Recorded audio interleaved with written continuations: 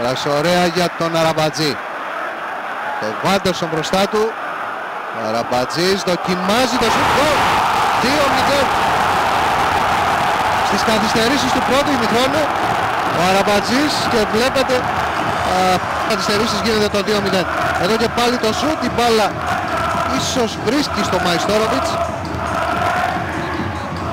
Από το σουτ του Αραμπατζή σημασία είχε ότι καταλήγει στα δίχτυα και κάνει το 2-0